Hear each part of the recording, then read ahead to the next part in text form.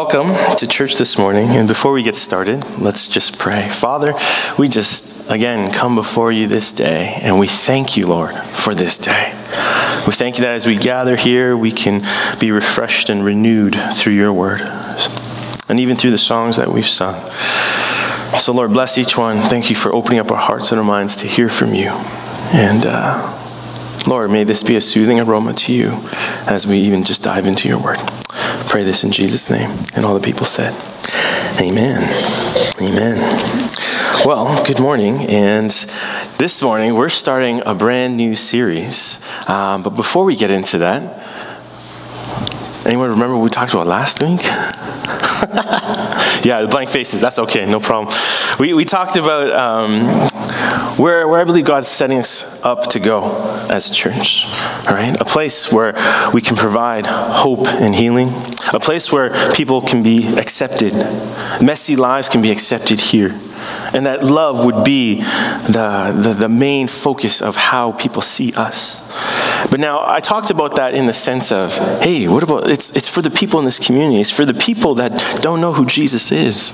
But I want you to know that's available for you here as well.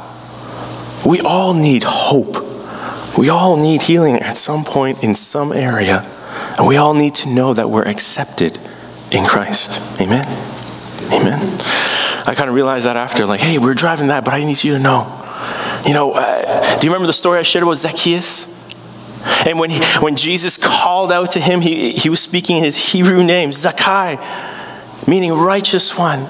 Come down. I, I must stay at your house. You know what I neglected to say to you right there and then last week? Is that's how he sees you despite your, your, your actions, your words, the flaws that you have, He sees you as the righteous one, as the one that has no guilt, no shame. So, in a sense, hear Him calling you, hey, righteous one, come down. But He's the one who loves you. Anyways, I don't know why I need to say that, but I need to say that. Um, so we had a good time last week. This week we're starting a brand new series, and it is called. I put it on. I swear. Oh, there you go. When God's grace abounds, there is dot dot dot. So we're going to spend the next several weeks looking at what is there when His grace, God's grace, abounds. If you notice the songs that we've sung, hey, great job, worship Thank you for speaking and singing about songs of grace. Um, something that has come across in my understanding that we've been talking about, even through our worship teams. It's the fact that even the songs that we sing, there are tons of Christian songs out there. But the songs that we sing when we gather here together corporately, they ought to be speaking of His goodness, of His grace, of His finished work.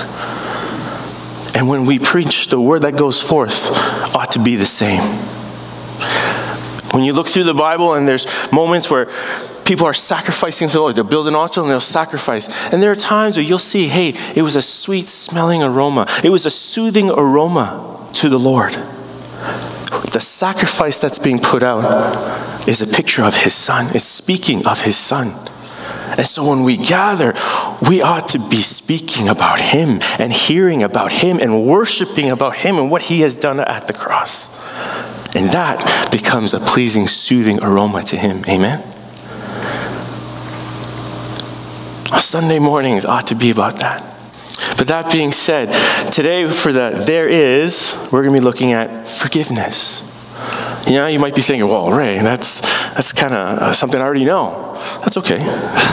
We, this is something we need to hear all the time, okay?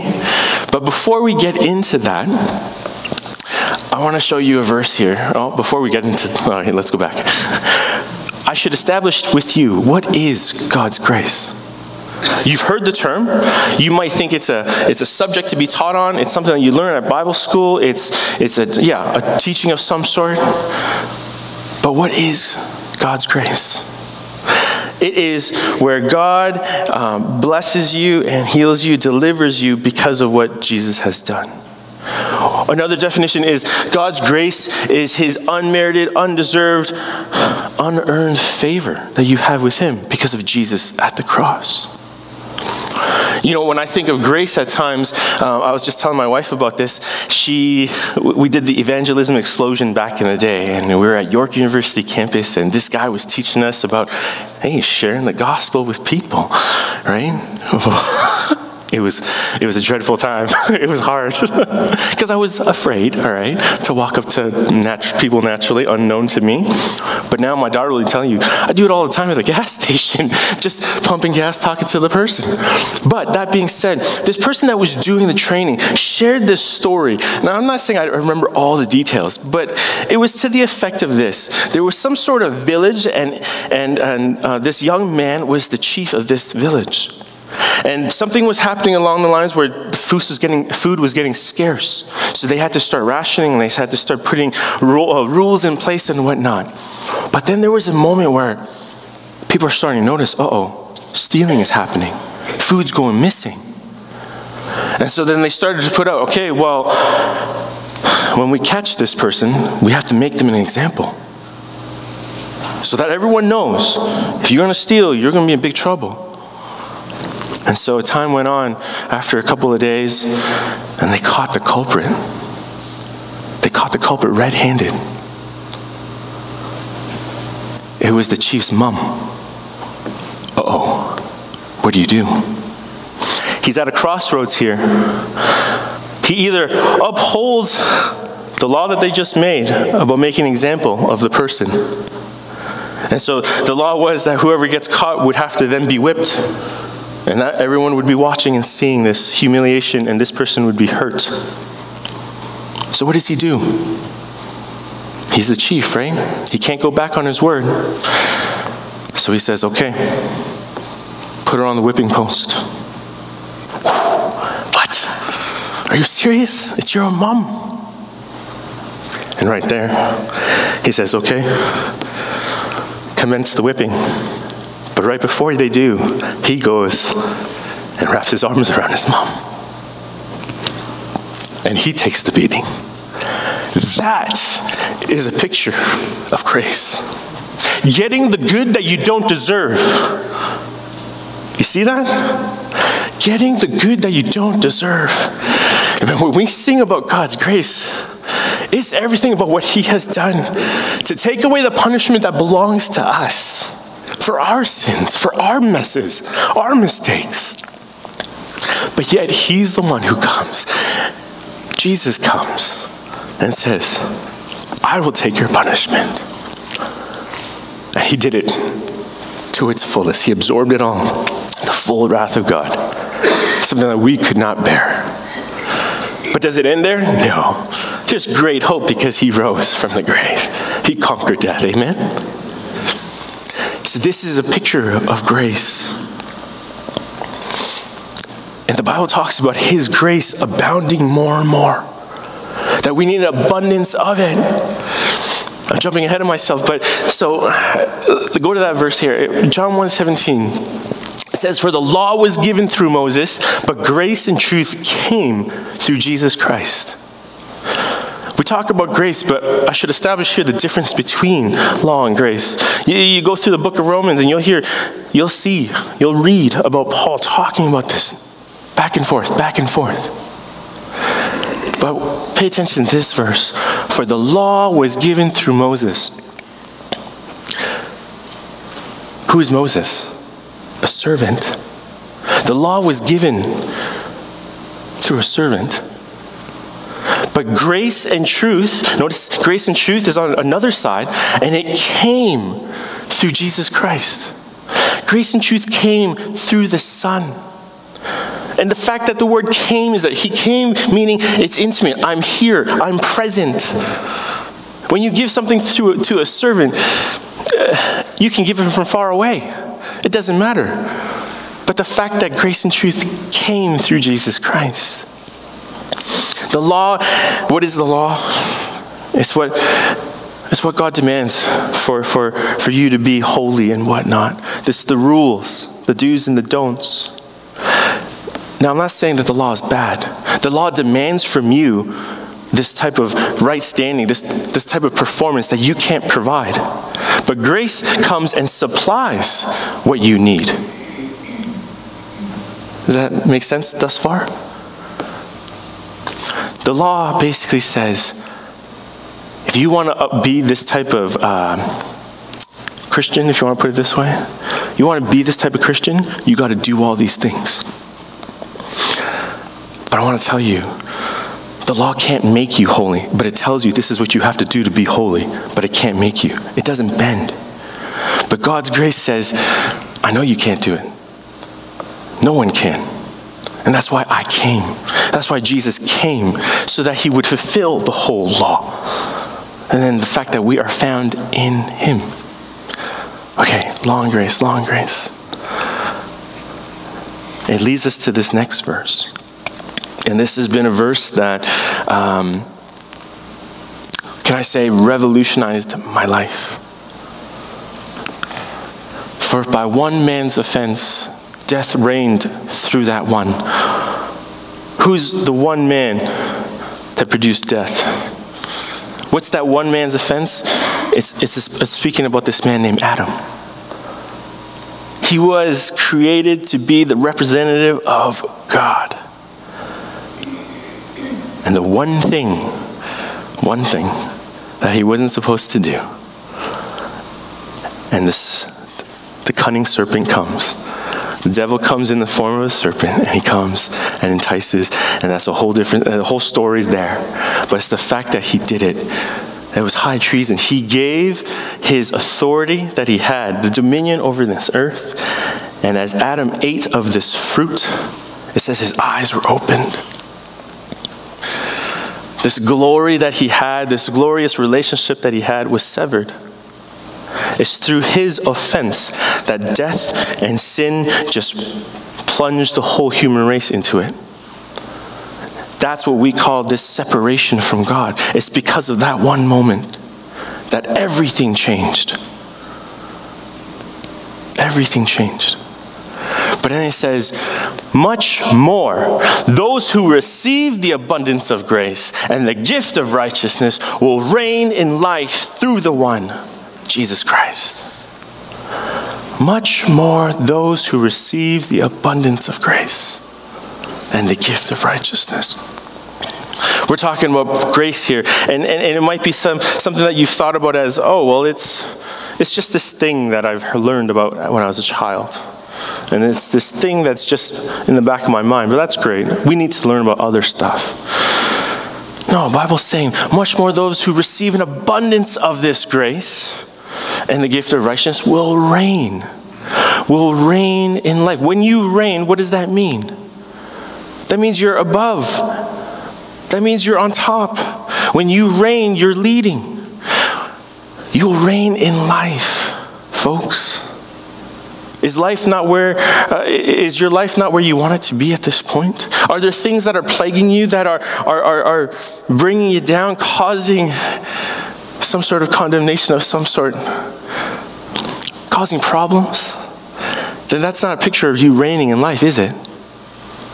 But yet the Bible says that you ought to be reigning in life through Christ, through the one, Jesus Christ but it comes from receiving an abundance of His grace. How do you receive an abundance of His grace? The grace that I'm talking about is a picture of forgiveness.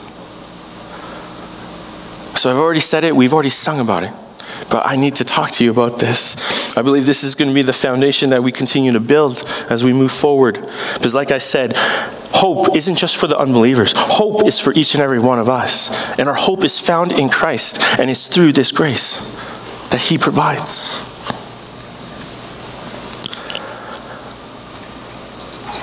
The abundance of grace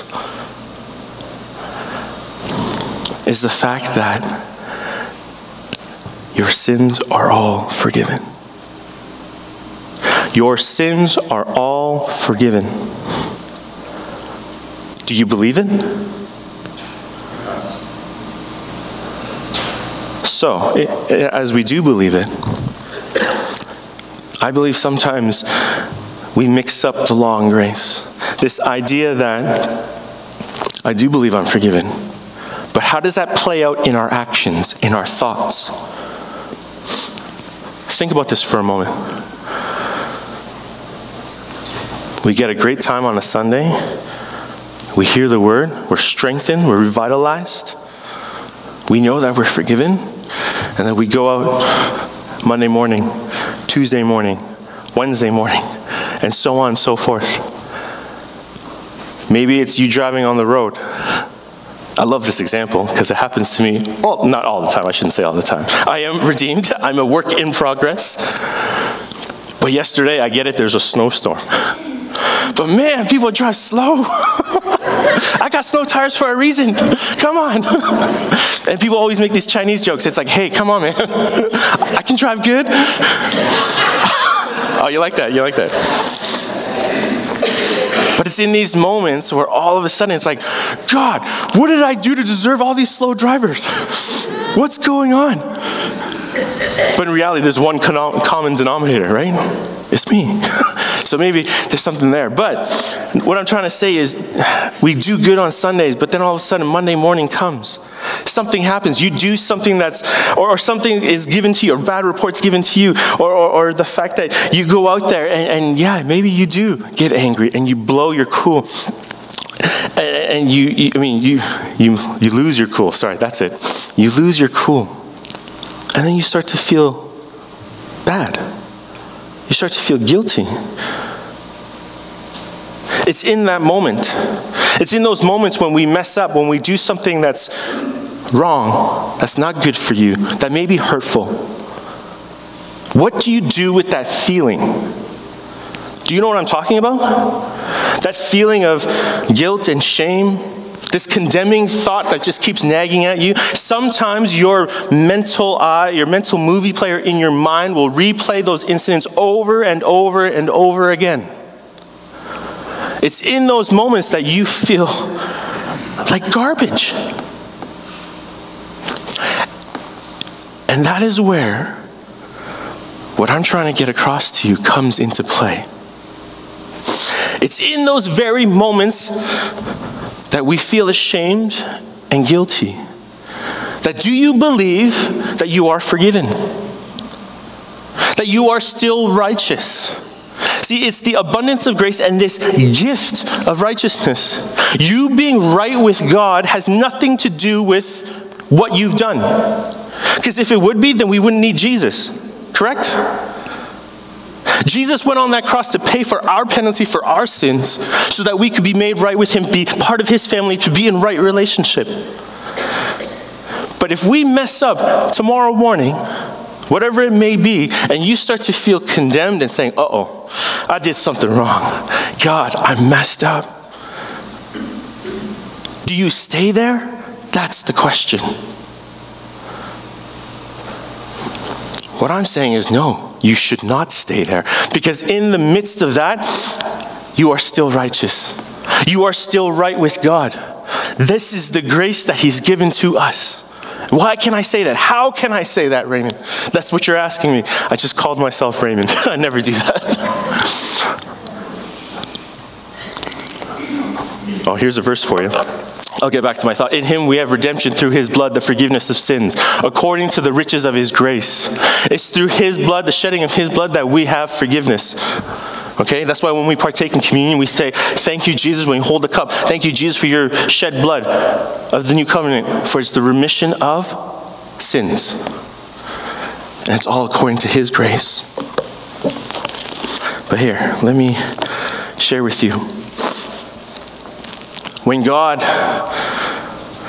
Paul wrote this in Hebrews, when God set forth a new covenant, he says, a new covenant I'm giving to you. This is what he says. Because the old covenant, the law, the old covenant of the law said, I will remember your sins down to the third and fourth generation. I will keep remembering your sins, is what God says. Okay? And, and for them to have, uh, back then in the Old Testament, for them to have some sort of covering for their sins to make an atonement, what do they have to do? Do you remember? Do you know? We, we will do a whole series on this maybe. But they needed to sacrifice an animal, an unblemished, perfect animal. Right? And then they would have to release its blood and whatnot. And then there was a transference that happened, right? The righteousness from this animal would be transferred to the person who's offering, and all the, uh, all the sin would be, in a sense, transferred into the animal. But God says this only covered, it never knocked it out, it never eradicated the sin, it just covered. That's why they had to continually give sacrifices, okay? But God makes a new covenant with man. Hebrews chapter 8, starting from verse 8. Behold, the days are coming, says the Lord, when I will make a new covenant with the house of Israel, with the house of Judah, not according to the covenant that I made with their fathers in the day when I took them by the hand to lead them out of Egypt. For this is the covenant I will make with them. I will put my laws in their mind and write them on their hearts and I will be their God, and they shall be my people. I think I have this verse. For I will be merciful to their unrighteousness, and their sins and their lawless deeds I will remember no more. Do you see that? Their sins and their lawless deeds I will remember no more. Folks, do you believe the word? Yeah, the answer is yes, you should. but like I said, it plays out differently in your actions, does it not? When we mess up, when we feel guilty, do we believe that He doesn't remember our sins? That He forgives us? There's a war that happens. And so why did I say Romans 5:17 revolutionized my life? Over a decade ago. It's because in that moment the realization came. Lord, even when I fail, even when I sin, you still see me as your son? You can say it as see, see me as your daughter? How is that possible? Why is that possible? Because this is why we talk about Jesus going on the cross. That is why Jesus absorbed all the sin of the world. Why John says, Behold, this is the Lamb of God who takes away the sin of the world. Paul says in Romans that he died once for all sin. How is that possible? For past, present, and future sins. Listen, anyone here 2,000 years old? I didn't think so. All your sins were future when Jesus died on that cross. You weren't even a thought yet, but He already paid the price. It's already been done. Wait a second, Ray. Are you saying that even when I fail, I can still be right with Him? That I'm forgiven? I can, I can hear you thinking, wait, that means I can just go and do whatever I want? I've just got my free pass. Pastor Ray said it. No, I did not say that. Don't, don't mis, misinterpret that, okay?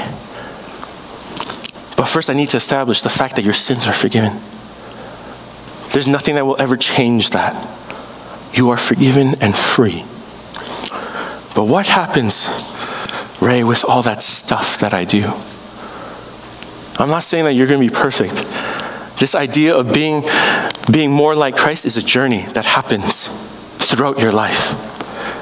But what is true in the moment when you said, Jesus, I ask you to come into my heart, to be my Lord and Savior, right there and then, you've been made righteous in an instant.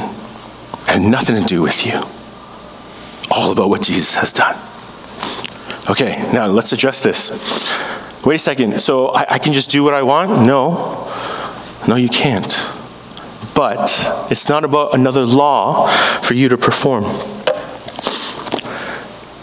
Jesus said this of this woman who came into Simon the Pharisee's house. And nonstop, she was just crying at his feet and wiping his feet with his hair. Okay? Uh, Luke chapter 7. I don't have that verse for you on the screen, but This is what Jesus says Do you see this woman? I entered your house. You gave me no water for my feet, but she has washed my feet with her tears and wiped them with her hair, the hair of her head. You gave me no kiss, but this woman has not ceased to kiss my feet since the time I came in. You did not anoint my head with oil, but this woman has anointed me with fragrant oil. Therefore, I say to you, her sins, which are many, are forgiven, for she loved much. But to whom little is forgiven, the same loves little. This is a beautiful picture.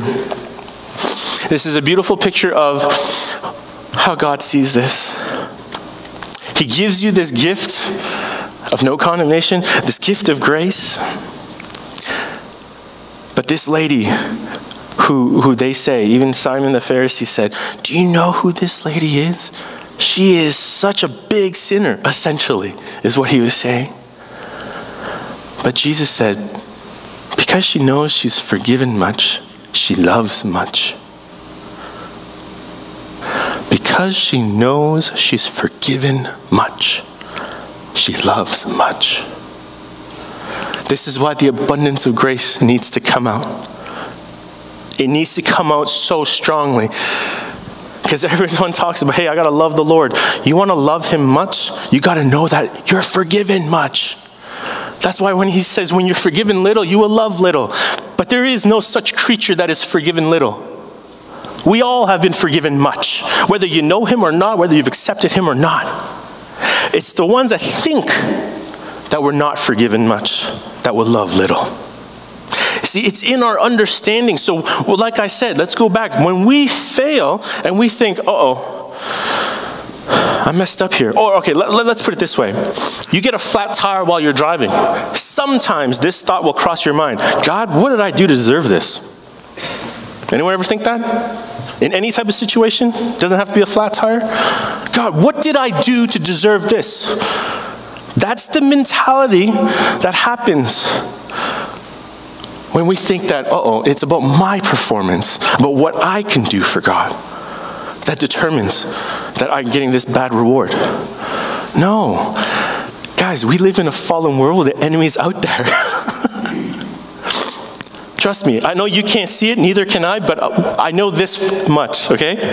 When we walk around there, when we walk into this world, everywhere we go, we're a shining beam of light. We're in the kingdom of light. We stand out. Oh, enemy definitely wants to attack you. yeah, he sure does. But you don't even have to worry about that stuff because God also gives you protection in his word. Amen. I don't know what you may be going through. Psalm 91. Read it and memorize it. There's protection. I just saw a news article last night. oh, there's some sort of SARS 2.0 coming out of China. And so air, airports are starting to put stronger screenings and stuff. And what? Psalm 91 talks about pestilences that you can't even see. Hey, read it. Okay, that was a side tangent. But going back to this, it's in this moment that we need to recognize I am still good with Him.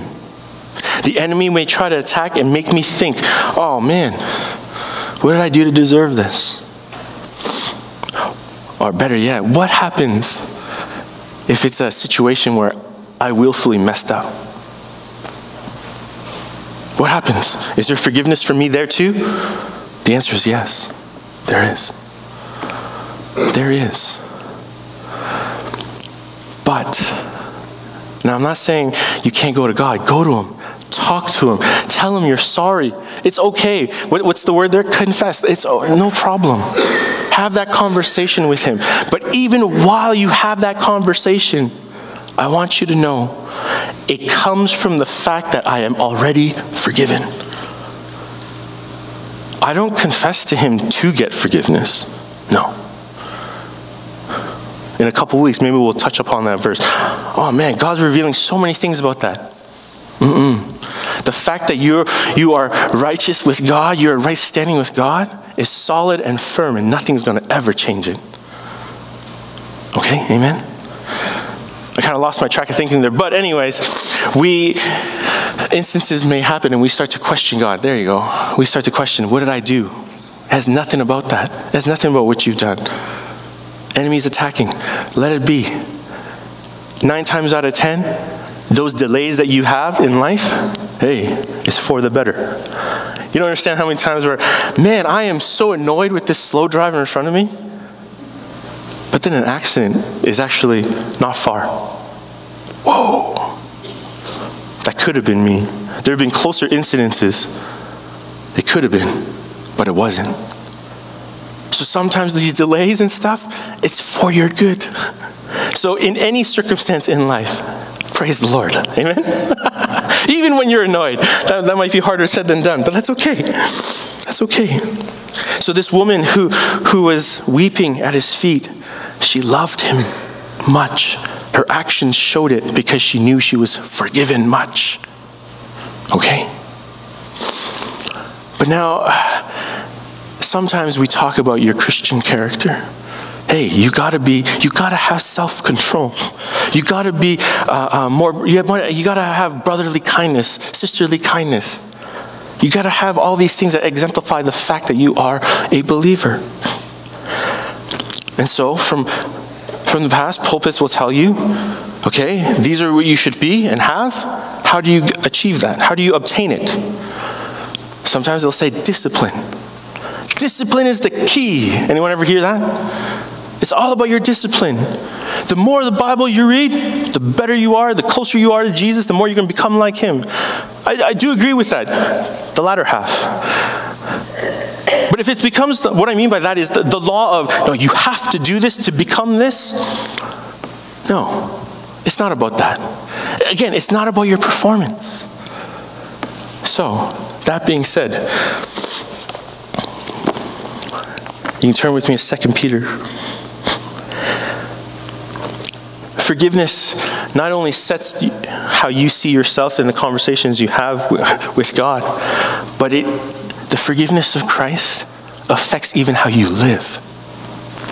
2 Peter chapter 1, verse, starting in verse 5. Add to your faith virtue, and to virtue knowledge. To knowledge, self control, and to self control, perseverance. Perseverance, godliness. To godliness, brotherly kindness. And to brotherly kindness, love.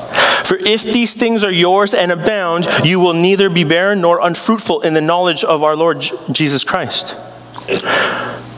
Get this now. Oh. For he who lacks these things is short sighted, even to blindness, and has forgotten that he, has been, he was cleansed from his old sins. You want to live this life with good Christian character to represent Him well? It doesn't come with because of what you do or don't do. It comes as the source, the fact that I am forgiven, that my sins have all been forgiven. And I know you might be thinking old sins, like in the past before I became a Christian. No. For all your life. Even the thought you're thinking now, who is this crazy Pastor Ray talking to me right now? That's a negative thought, no worries. God's forgiven you. It's okay. I think last time I talked to him, why is his hair always pointy? You like, I changed it for you, huh? it's not as pointy anymore. But this is the beauty of knowing that you're forgiven. It sets us right so that we can have that relationship with Him. And even in the midst of circumstances, we still know, even the one, if we're the ones who are at fault, we still know that we're right with Him. And the way we live to represent Him in our relationships to each other and to those out in the world, it all based, it's all based on our forgiveness, knowing that we're forgiven in Christ. Amen? Uh, there's a verse um, that I remember looking at in Romans, just reading again, and it just stood out. Uh, I'm going to find it right here. Romans chapter 1, ah, verse 17. For it is the righteousness of God, for in it the righteousness of God is revealed from faith to faith. As it is written, the just shall live by faith. the righteousness of God is revealed from faith to faith. You receive that righteousness by faith, right? I said before, it's a gift. Do, do you work for a gift? Do you earn it? Can you pay for it? No. A gift is a gift, it's free, no strings attached. You receive it. So you receive it by faith and you live it out by faith. From faith to faith. Amen? And you live it out by saying, even in the midst of your failures, Jesus, I thank you that I am still righteous in your sight. And you go on in your day. But Ray, these things are plaguing me. Hey, you have a sound mind. You have the mind of Christ. Don't give the enemy the foothold to think about these things. It's forgiven. It gets better over time. Is all I can say. But you can definitely let him know. Let it out of your heart. Tell him what you're feeling and sensing and experiencing.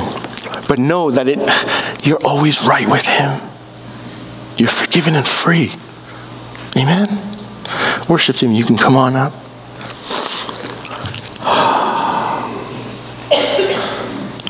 This is where hope is birthed. This is where hope is rooted. That the fact that I have hope in Christ because of all this, no matter what my past failures were, I can still walk as a child of God. Don't worry, this isn't the only sermon about this. We're going to keep diving into this. There's so much more that I want to say, but we're going to call it there for today, okay? Now, I don't want to miss this opportunity. I want to give you an opportunity to receive Jesus into your heart. Maybe you're hearing about this and you're saying, That is what I want to be able to live with Him freely. I'm going to simply ask you to all just bow your heads. And if you've never had Jesus come into your heart, you can simply pray this prayer with me. Say, Father God, thank you for sending your son Jesus, who took all of my sin and shame into his own body, and who went on the cross, who laid down his life on the cross to bear the full punishment for all my sin. I thank you, Jesus, for washing me clean and making me new. Thank you for being my Lord and Savior.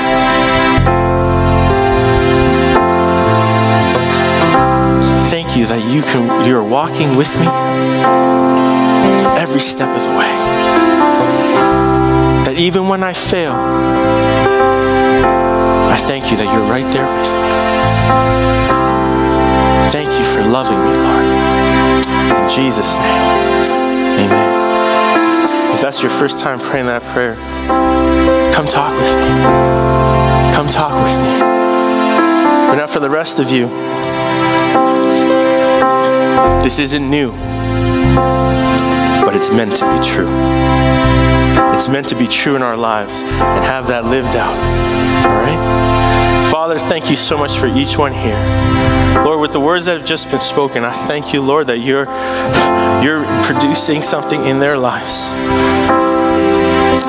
That, Lord, we would understand fresh and anew your grace, your love, your forgiveness. As we go forth in this week, may you be with us and speak to us in all situations. Reveal afresh that we're forgiven and free in you, Jesus. Thank you for each one. In Jesus' name.